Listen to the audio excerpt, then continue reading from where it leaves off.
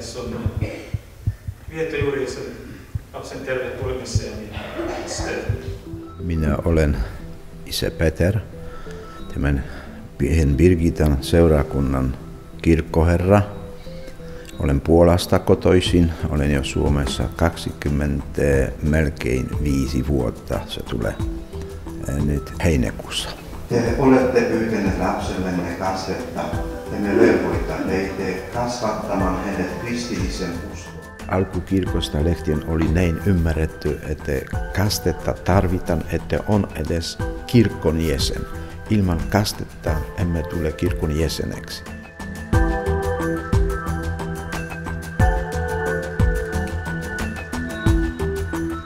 Se on justi tämä, mitä kirkko sisältää, se on sakramentit. Eli tämän kastesakramentin on ensimmäinen, joka me otamme vastaan, että edes olemme sisällä kirkossa ja nautimme tästä kaikesta, mitä kirkko, eli Jeesus itse meille tarjoaa.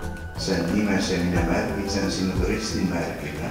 Ja sitten vasta, kun jo he sanovat, että haluavat kastetta tai haluavat vahvistaa uskoa, sitten viedä niitä kirkon sisään.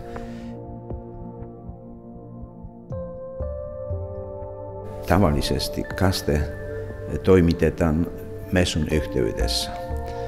Ja tämä se tarkoittaa, että myöskin silloin tämän eh, kaste on myöskin ymmärtävä eh, seurakunnan, eh, joka sanoo tervetulleeksi uudelle jäsenille. Ja koko seurakunta on silloin myöskin todistaa, että hänestä tuli jo kristitti kasten kautta.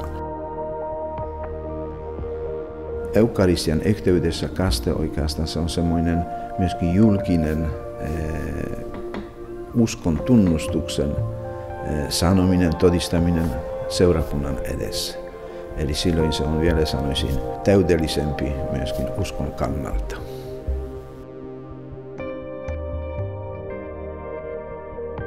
Ja sitten messun tietysti yhteydessä, kun on tämä sanan liturgia eli lukukappaleet ja ja, ja evankeliumi ja äh, saarna sen jälkeen on varsinainen kasten hetki, joka myöskin sisältää aivan selvä järjestys.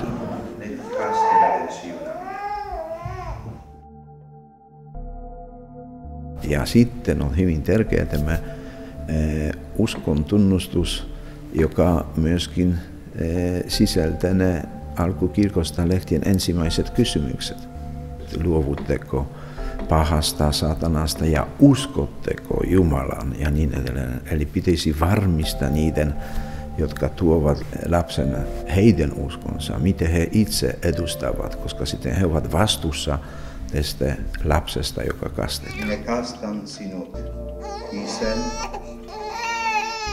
ja pojan ja pyhän hengen nimeen.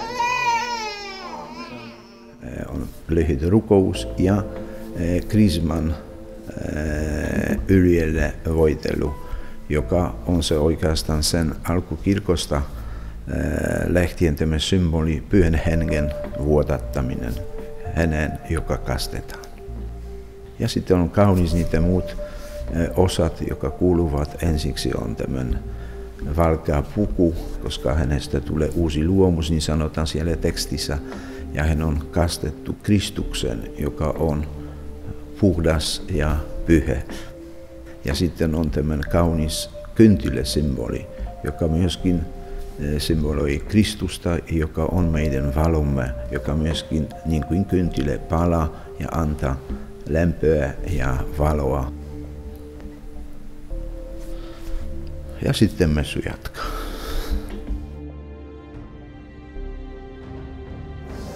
Ylentäkää sydämen.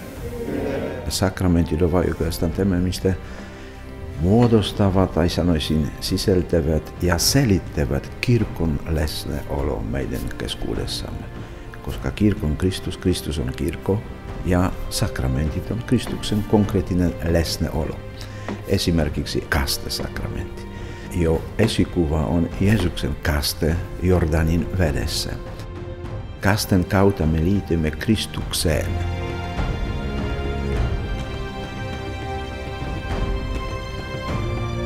Sakramentit ovat kirkon sisältö. Ei voi kuvitella kirkkoa ilman sakramenttia.